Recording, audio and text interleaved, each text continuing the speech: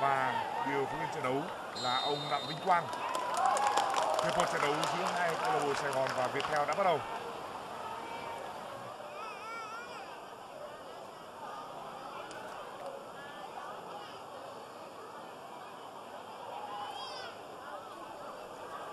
Có lúc này ở V-League 2019, vị trí của Sài Gòn là thứ 6. Và tấn công nguy hiểm đầu tiên.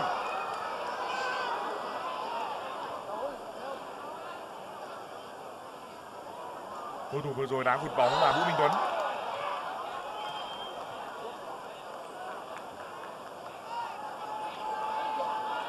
Về theo lúc này đứng sau Sài Gòn 5 bậc. Họ xếp thứ 11. Rất tiếc Vũ Minh Tuấn đã sút trượt. Lúc này Paulo đang là người đá cao nhất trên hàng công của Sài Gòn.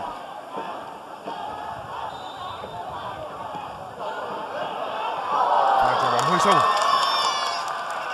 Treo bóng của Xuân Toàn. Vũ Tín. Ngô Xuân Toàn. Nha rồi.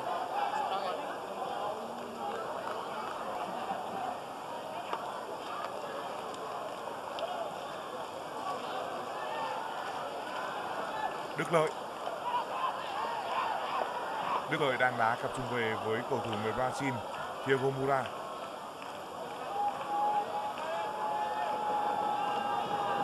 Văn Hoàng là thủ môn trẻ, rất nhiều triển vọng của đội Sài Gòn. Anh từng được gọi lên tập trung đội U23.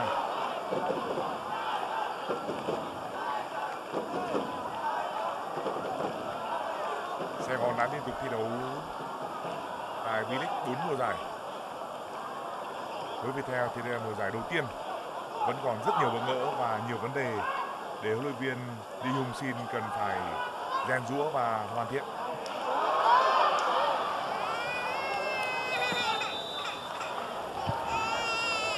Viettel đang đá với hai trung vệ là Trương Văn Thiết và Quế Ngọc Hải.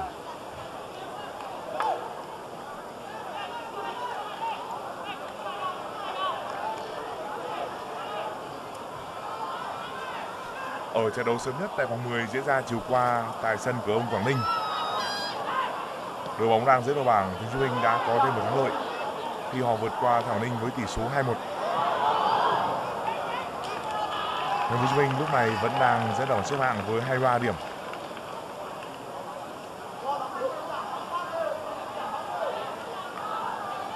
Đây là thời điểm mà bóng đá Thành phố Hồ Chí Minh đang có những khởi sắc rất rõ. Thành phố Hồ Chí Minh đội bóng đang dẫn đầu bảng một cách thuyết phục và bên cạnh đó là Sài Gòn về cơ bản cũng chơi ổn định ở những giải gần đây bóng đá phong trào và cộng đồng ở Thành phố Hồ Chí Minh cũng phát triển mạnh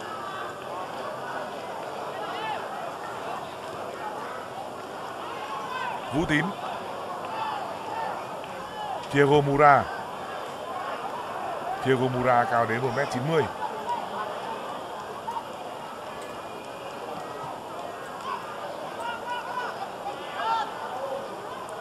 Ngọc Duy. Ngọc Duy là cầu thủ thuận chân trái trưởng thành từ thể công, thuộc lứa đào tạo cuối cùng của thể công.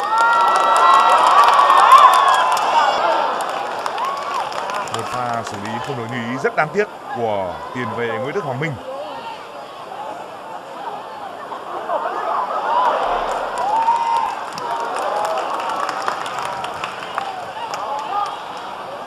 so với Viettel thì Sài Gòn là đội bóng kinh nghiệm hơn rất nhiều.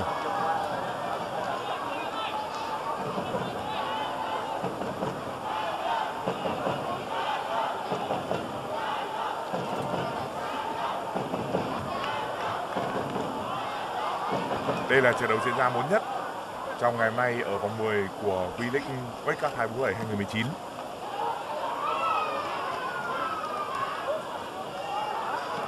Lúc này ở hai trận đấu đã kết thúc. Hải Phòng hòa Thanh Hóa tại sân Lạch Chay hai đều. Sông Lam Nghệ An hòa Khánh Hòa ở sân Vinh với tỷ số không đều. Như vậy là hai trận đấu đã kết thúc trong buổi chiều nay đều có tỷ số hòa. Ngày mai còn lại hai trận đấu.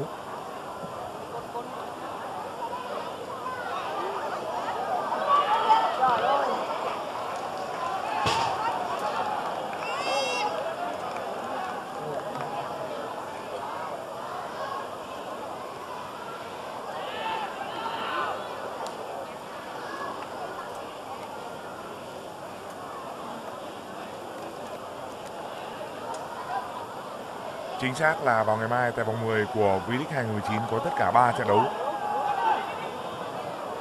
Ở trận đấu muộn nhất vào ngày mai lúc 19 giờ, Hà Nội gặp SCB Đà Nẵng. Trước đó Quảng Nam gặp ừ, Dược Nam Hà Nam Định và Hoàng Anh Gia Lai gặp BK Nước Bình Dương.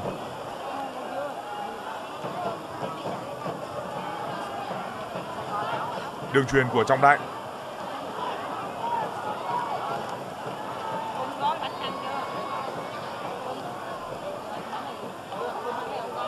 cầu thủ chuyền bóng là cao văn chiên ngọc duy dứt điểm vào chân trái. Oh! và dứt điểm gọn gàng của ngọc duy.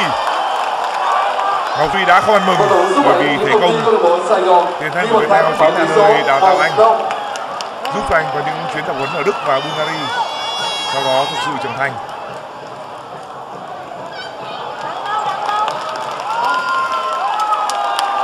Ngọc Duy không chế bóng rất gọn gàng và tung ra cú đá rất chuẩn bằng chân trái sở trường. Pha ghi bàn thứ hai của Ngọc Duy, đội trưởng Sài Gòn tại V-League 2019.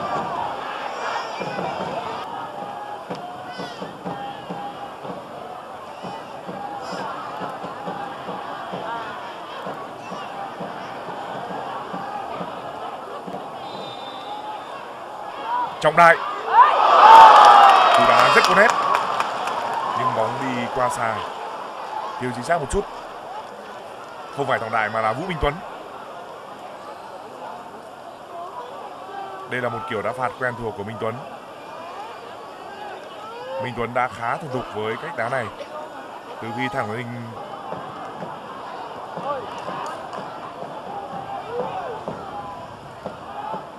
Nguyễn Đức Hoàng Minh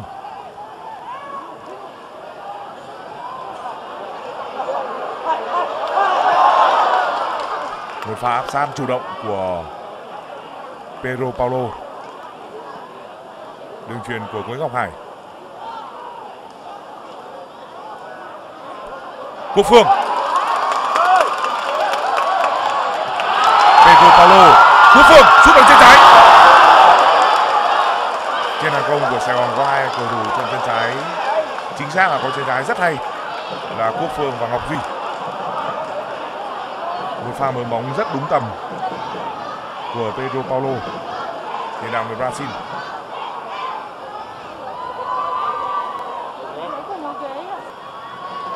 Nói chung là các trận đấu tại V-League bóng chết vẫn rất nhiều.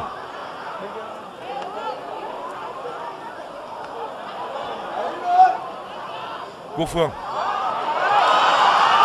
Dứt điểm. Hai không cho cao thủ Sài Gòn. Cầu thủ Sài Gòn chơi nhặt nhã nhưng cũng đã có được hai bàn thắng mỗi khi Sài Gòn có những pha phối hợp chính xác và tăng tốc. Thì cơ hội Viettel lập tức bộc lộ sự lúng túng. Rất nhiều khoảng trống.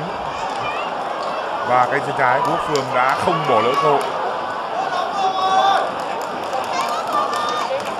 Khi giành chân trái, Quốc Phương mới có thể có những pha bóng rất hay. Pha vượt giữa Quốc Phương và chân sút người Brazil, Pedro Paulo.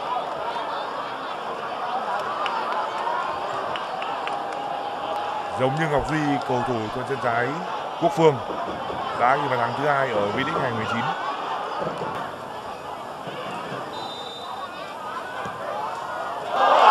và đá phạt nguy hiểm. Tuy nhiên sau đó thủ môn thế tài cũng đã kịp lùi về và bắt được bóng. Đường truyền quá mạnh.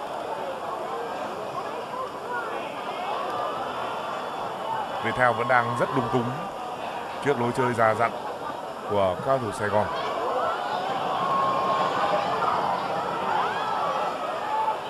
Thế tài. Nguy hiểm.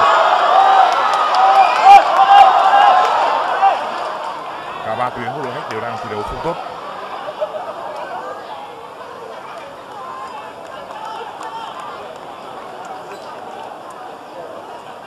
Chúng ta xem lại pha che bóng của Xuân Toàn.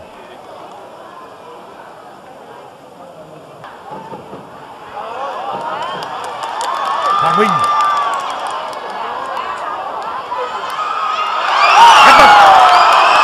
Khoảng trống, sút bóng. Không vào. Rất tiếc ở vòng ngon ăn như vừa rồi thì KO lại xuất điểm ra ngoài. Nỗ lực truyền vào của Nguyễn Đức Hoàng Minh. Thủ môn Văn Hoàng và hậu vệ của Sài Gòn đã vừa không tốt. Caio Bocket đã có cơ hội rất tốt để dứt điểm.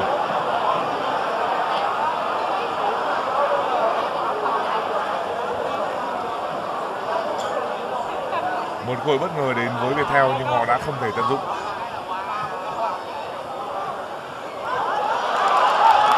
Quốc Phương.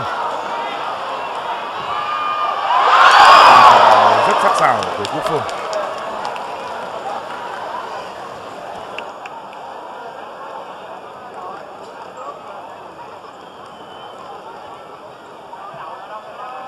Với thế trận này bàn thắng có thể đến với Sài Gòn bất kỳ lúc nào.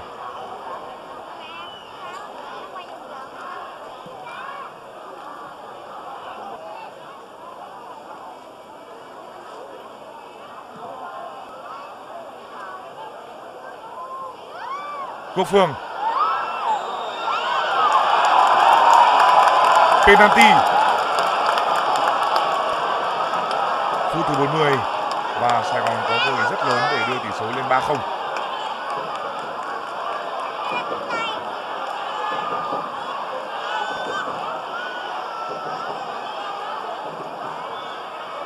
bóng chạm tay Quế Ngọc Hải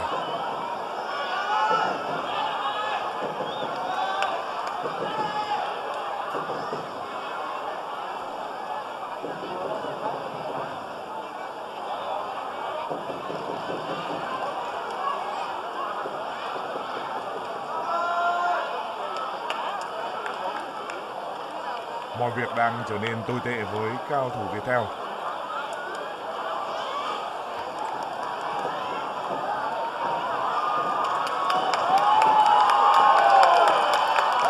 Cơ hội được dành cho tiền đạo người Brazil, Pedro Paulo. Cơ hội đánh con thắng thứ năm của mùa giải năm nay. Pedro Paulo rất chuẩn xác tỷ số được đưa lên 3-0 cho Sài Gòn. Cầu thủ số 12 Pedro Vẫn câu lạc bộ Sài Gòn Gòn ra như vậy hơn, nâng tỷ số lên lên 3-0. 3-0 là một điều rất bất ngờ.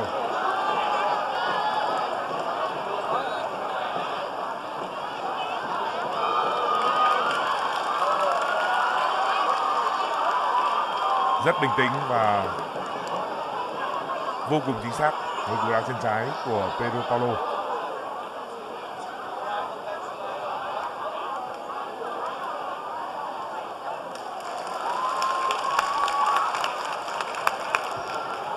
Pedro Paulo là một điểm tựa rất quan trọng trong sơ đồ chiến thuật 451 của huấn luyện viên thành công.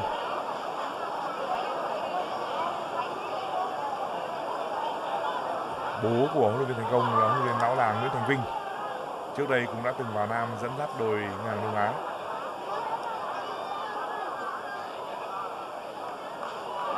Thành công là cầu thủ của sông Lam Nghệ An.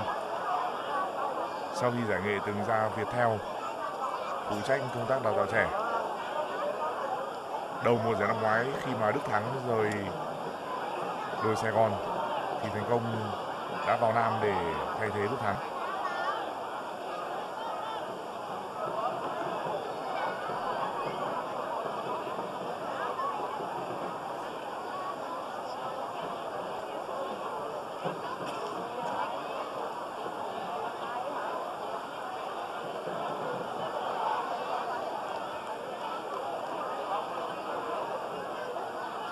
Phan Thiết.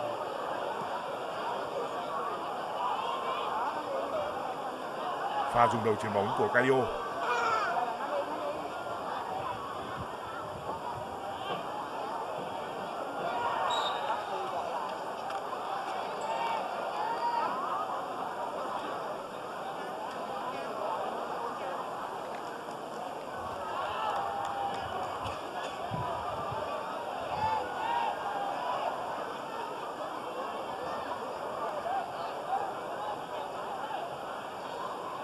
Lúc này thì Caio đá phía sau Vũ Minh Tuấn và De Souza.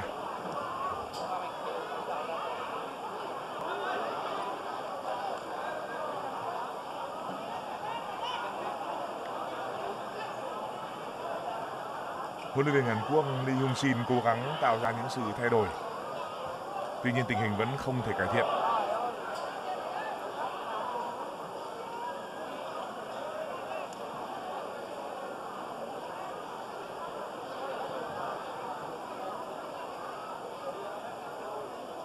Tín Vũ Tín và Quốc Long đang là cặp hậu vệ biên của Sài Gòn.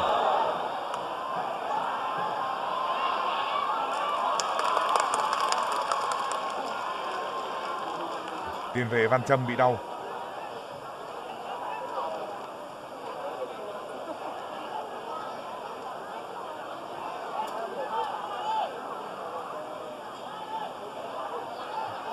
Pha va chạm hết sức nguy hiểm. Văn Trâm và Cao Văn Triền. Caio không vào. Thêm một cơ hội dứt điểm dành cho Caio Bocket. Nhưng bóng vẫn đi chạy cầu môn. Caio vẫn chưa có duyên ghi bàn ở V-League 2019.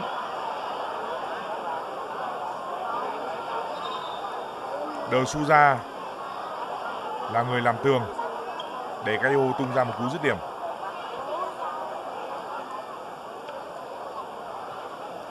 Đến lúc này Viettel mới chỉ có được 6 bàn thắng ở mùa giải năm nay.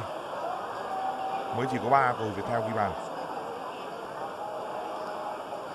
Đỡ Suza ghi được 3 bàn, Bùi Tiến Dũng ghi 2 bàn và Vũ Minh Tuấn đóng góp một bàn.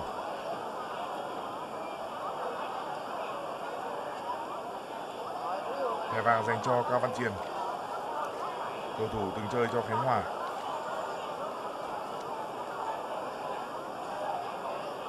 Thời gian bù giờ của hiệp 1 là 1 phút. Hiệp 1 của trận đấu có 1 phút bù giờ. Đây là trận đấu muộn nhất trong ngày hôm nay và lúc này ở Hồ Chí Minh thời tiết đã mát mẻ hơn rất nhiều.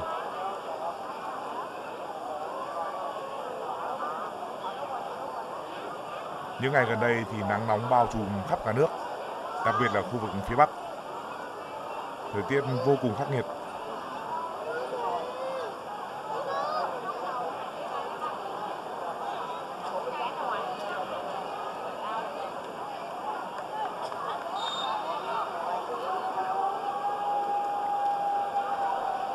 Một điều rất mừng là cả hai đội bóng của Việt Nam dưới group FC năm nay là Hà Nội Huỳnh Dương đều giành quyền đi tiếp và cơ hội để hai đội bóng Việt Nam gặp nhau ở chung kết theo chúng tôi là không nhỏ.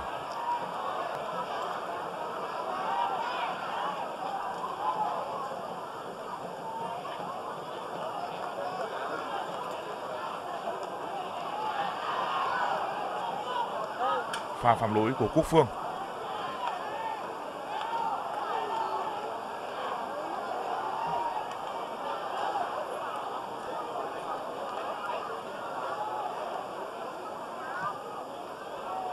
Văn Thiết đá phạt. Dứt điểm. Rất tiếc cho những cơ hội của cầu thủ Viettel.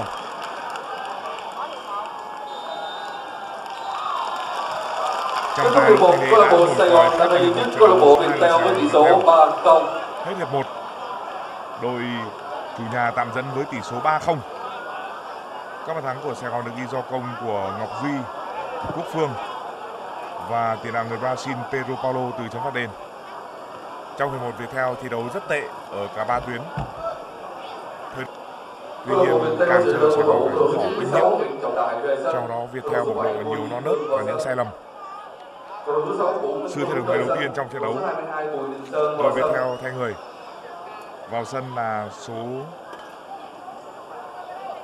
22 Bùi Đình Sơn. Bùi Đình Sơn 24 tuổi, cao 1m68. Ở hiệp 1 của trận đấu cả hai bên đều không thay người. Trong hiệp 1 các cầu thủ Sài Gòn không cần phải quá cố gắng. Họ chơi nhẩn nha và khi tăng tốc thì Viettel luôn khó khăn. Ở hiệp 1 của trận đấu bên phía Việt Theo huấn luyện viên người Hàn Quốc, ông Lee Jung Shin cố gắng tạo ra những xe đổi, xoay chuyển. Tuy nhiên tình hình vẫn rất tệ. Hiệp 2 trận đấu giữa hai đội Sài Gòn và Viettel đã bắt đầu. Ở hiệp 2 của trận đấu chủ nhà Sài Gòn bảo vệ có môn bên trái là nhỏ quá. Quế Ngọc Hải Ngọc Hải đã được đẩy lên đá ở vị trí tiền vệ trụ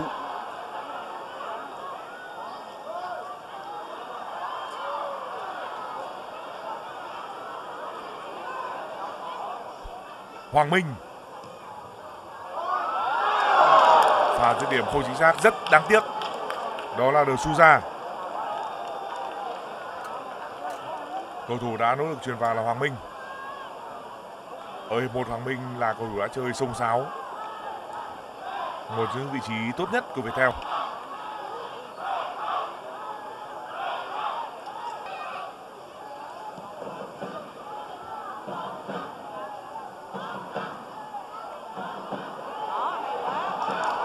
Quốc Phương. Tình huống nửa truyền nửa dứt điểm. Có lẽ đó là một pha căng ngang trước cầu môn.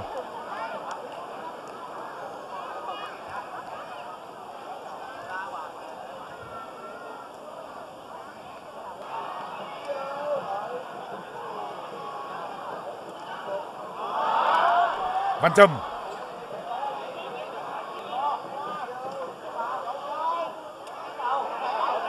đánh đầu không vào. Pha dứt điểm của đội su ra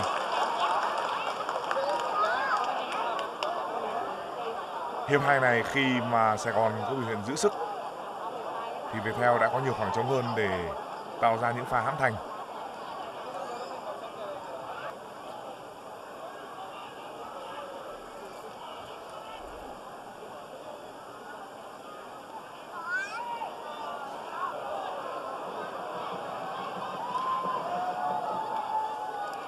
Đường truyền không đúng địa chỉ, Pedro Paulo không thể nhận bóng.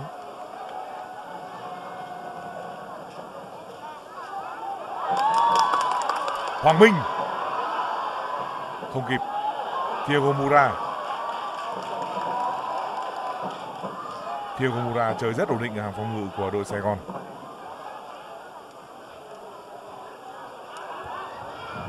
Quốc Phương. Quốc Phương là cầu thủ nếu biết sử dụng có khả năng gây đột biến rất tốt.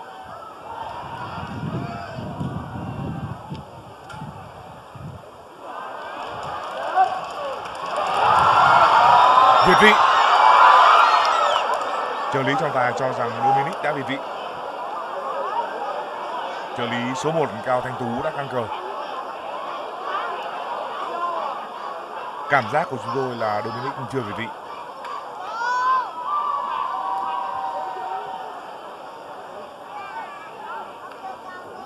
Pocket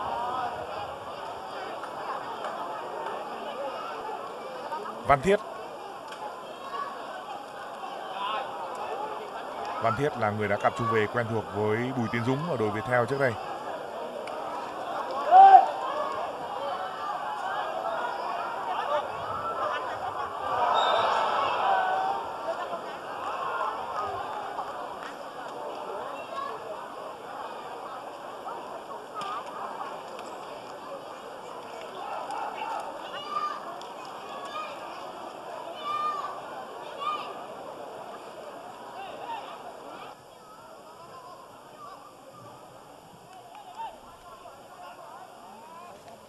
Chúng ta vừa xem lại pha phạm lỗi của Bùi Đình Sơn.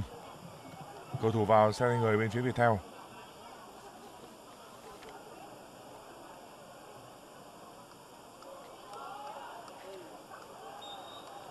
Lúc này mỗi bên có thể thay thêm một cầu thủ.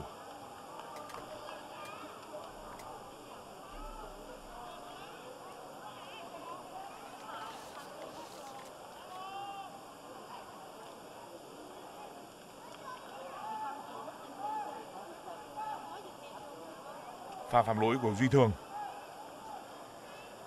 Duy Thường và Đình Sơn là những cầu thủ vào xe người bên phía Viettel.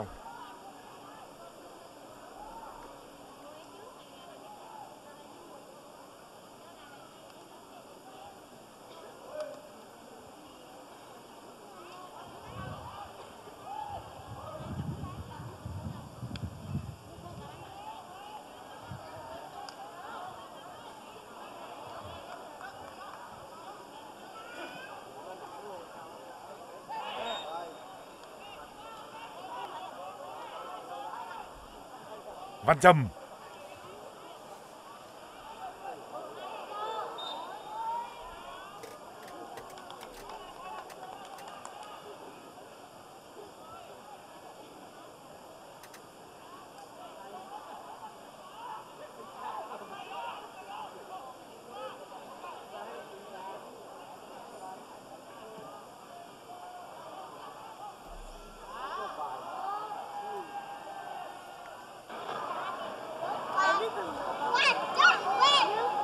phạt góc cho Viettel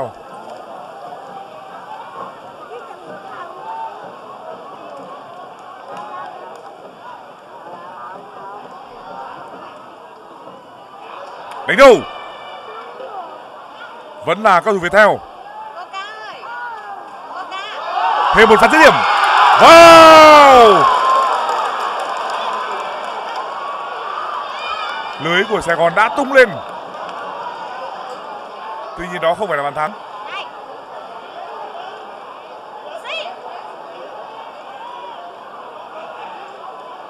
Chúng ta xem lại cứu này.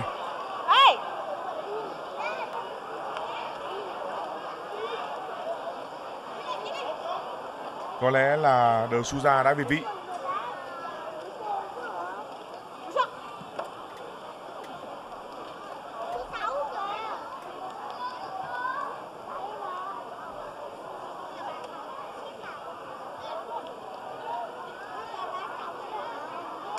Văn Trâm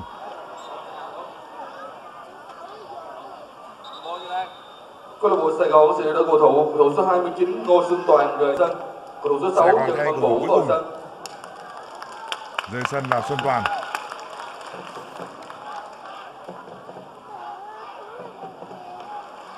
Vào sân là Trần Văn Bửu. Người rời sân và người vào sân đều là những tiền vệ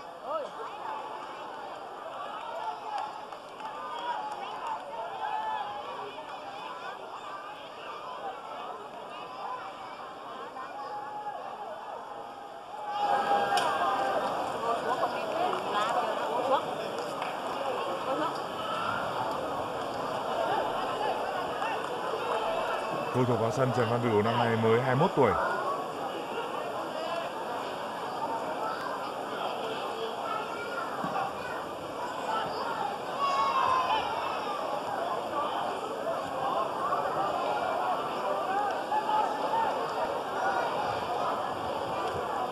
Tiến Anh. Văn Trâm.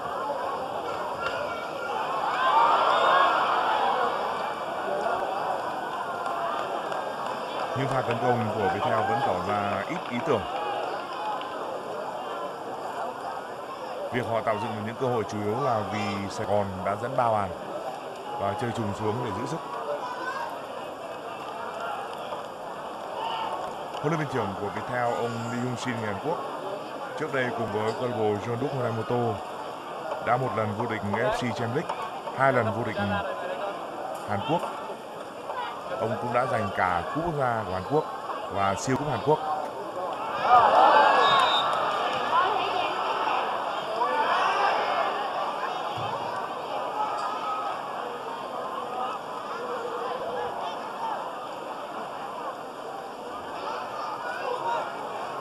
Pha phạm lỗi của Bình Sơn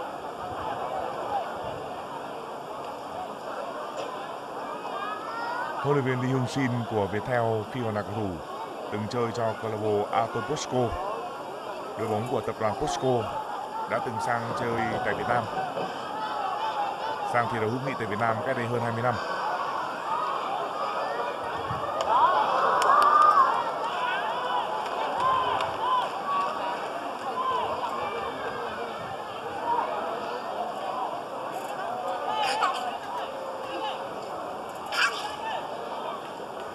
đó đây đây đây đây không đi đâu cũng thắng ở đâu Ờ, đưa lên cho mẹ uống đưa lên cho mẹ uống Đưa lên.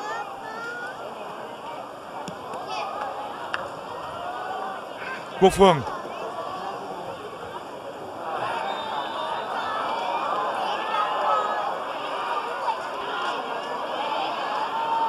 Pha phạm lỗi của Duy Thường.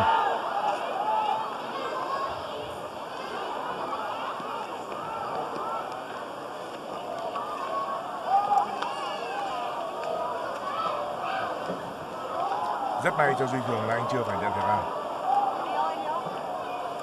đến lúc này thẻ vàng duy nhất của trận đấu thuộc về Cao Văn Triền. Bên phía Sài Gòn. Một pha đưa bóng vào cầu môn suýt nữa tỷ số là 4-0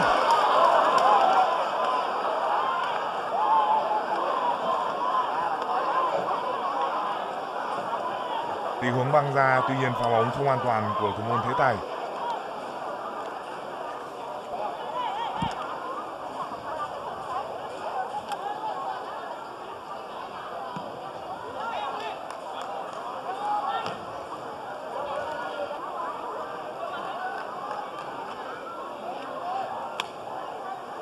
Quế Ngọc Hải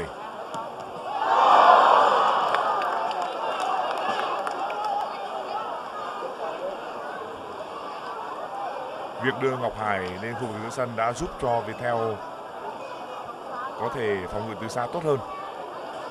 Tuy nhiên hàng công vẫn thiếu ý tưởng và có cơ hội thì lại vô duyên.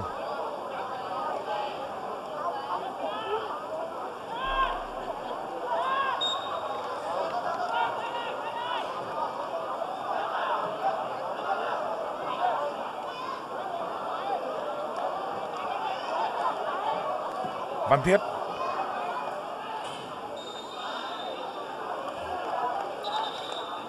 Câu lạc bộ Viettel có sự đưa cầu thủ cầu thủ số 17 Nguyễn Đức Hoàng Minh rời sự sân thay đổi người cuối cùng trong trận đấu. 11 Nguyễn Việt Phong vào sân Minh rời sân vào sân là Việt Phong. Việt Phong là một tiền đạo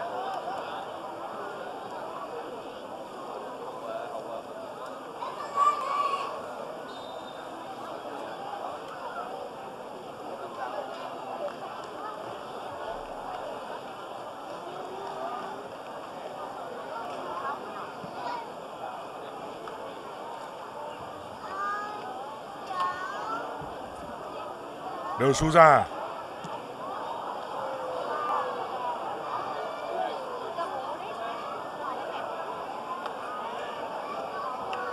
Văn Trâm. Đi lên đi lên. Phi ơi Đến lúc này cả hai đội đều hết tiền thành người đi lên đi đi lên đi lên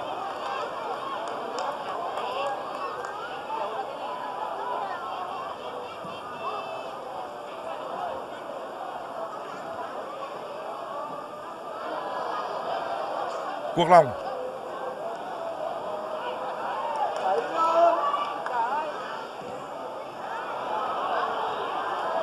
Quốc Phương. Một cú đá nối, Thêm một pha dứt điểm.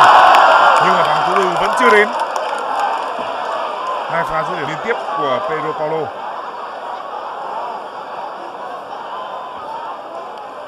Pedro Paulo và Quốc Phương rất hiểu nhau.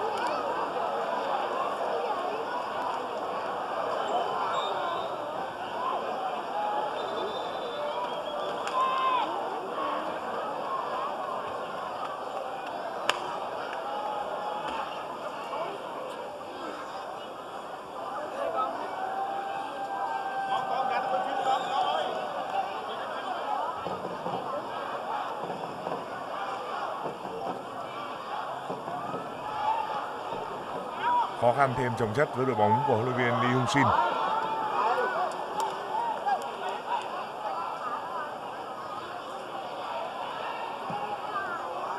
Đường truyền của Văn Thiết.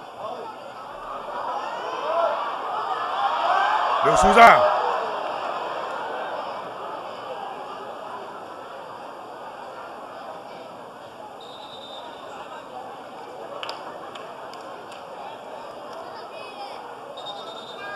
Cầu thủ đang bị chuột rút là Hữu Sơn.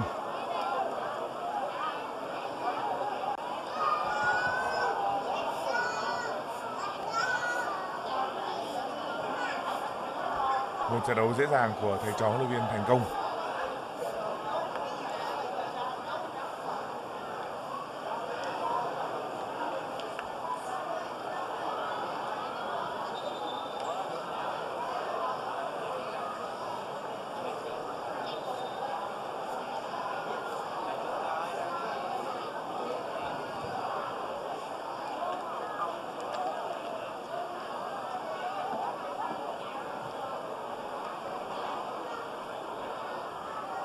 Nay trưởng đoàn bóng Viettel là Đỗ Mạnh Dũng. Nguyên là trung vệ của đội thể công vô địch quốc gia năm 1998.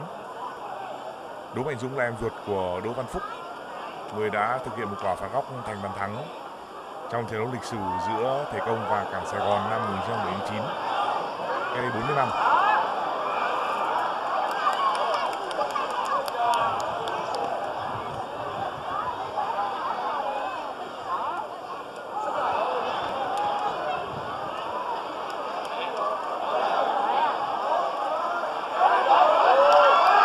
Tuyệt vào Pha đi bóng của Việt Phong. Cầu thủ mới đầu tư vào sân thay người. Việt Phong cao 1m78 Năm nay 26 tuổi. Văn Trâm.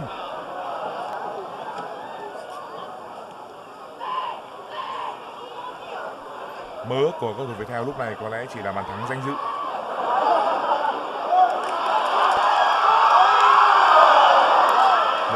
Chuyển ngang. Đó là pha xử lý của Đình Sơn.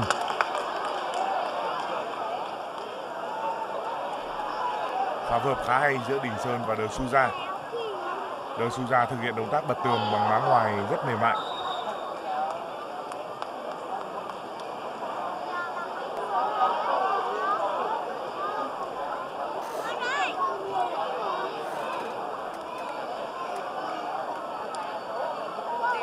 Cầu thủ bị chuột rút là Vũ Tín, hậu vệ cánh trái của Sài Gòn.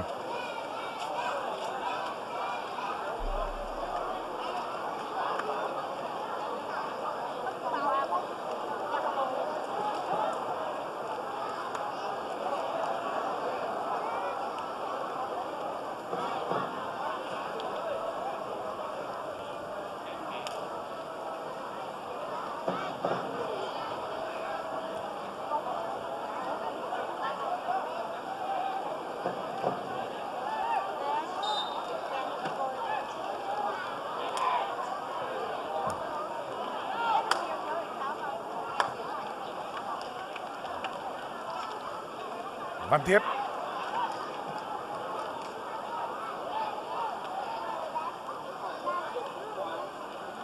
Duy Thường.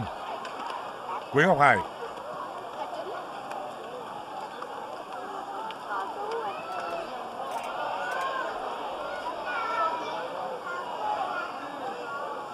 Có thứ quá?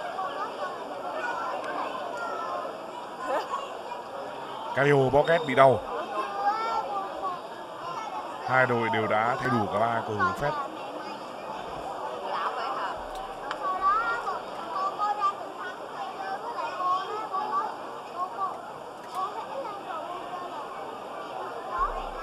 Vậy á hả? Bây giờ đẹp á, bị nhất. Bây giờ khỏi tao muốn có tiền chơi nữa ha.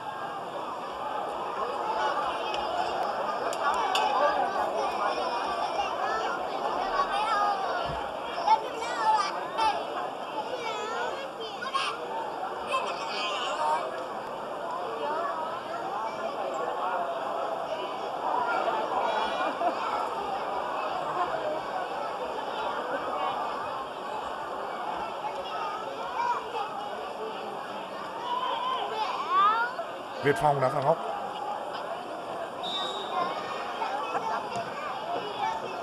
Rớt rồi.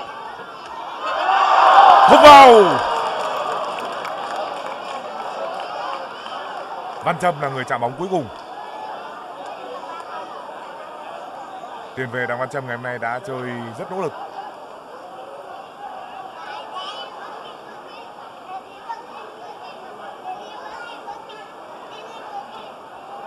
Phút thứ 90 của trận đấu.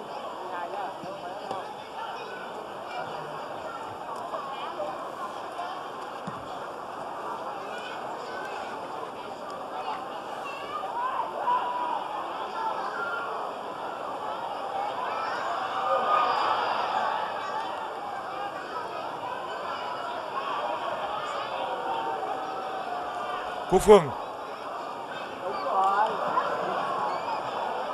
Văn Thiết.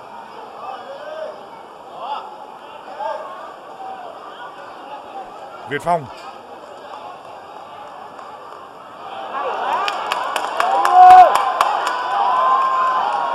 Thời gian bù giờ của hiệp 2 là 3 phút.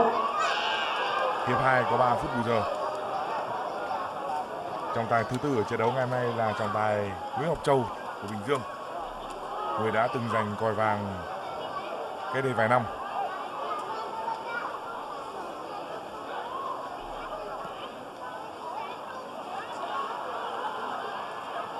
Quốc Phương.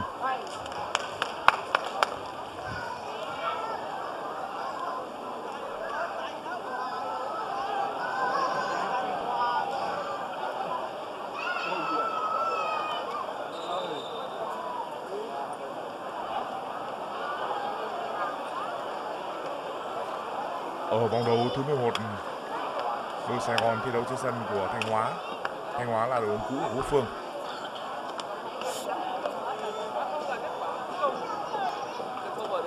Chắc vui.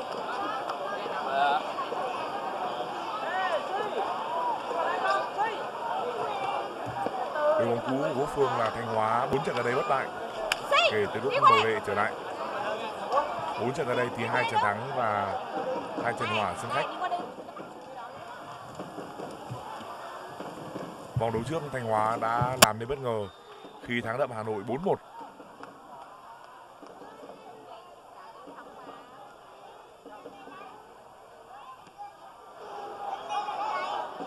Đội Viettel ở vòng đấu tiếp theo gặp Hải Phòng trên sân đấy. Lại là một trận đấu rất được chú ý ở sân đấy. Sân đấy là nơi mà Hải Phòng luôn có rất đông cổ động viên lên Hà Nội để cổ vũ cho đội nhà. Và có một món ăn không thể thiếu, đó là pháo sáng.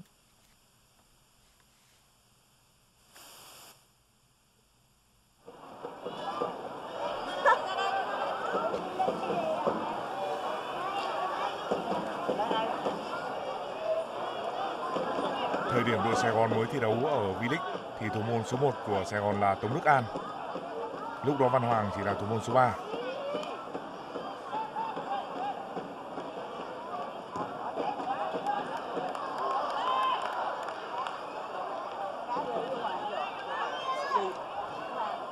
Những giây cuối cùng của trận đấu. Quế Ngọc Hải.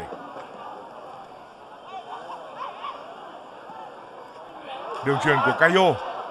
Được su ra. Quá chậm.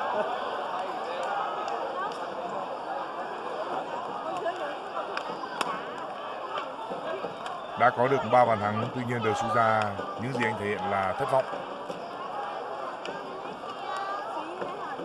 Viettel là câu lạc bộ có những tiền vệ tốt và nếu có một trung phong sắc sảo thì suất ghi bàn của Viettel sẽ tốt hơn rất nhiều.